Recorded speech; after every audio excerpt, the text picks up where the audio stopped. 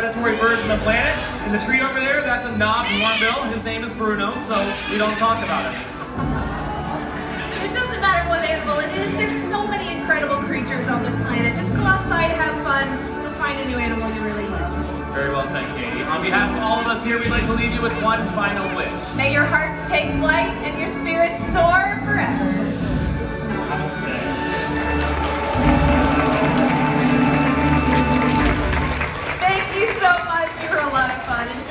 your day here at Disney.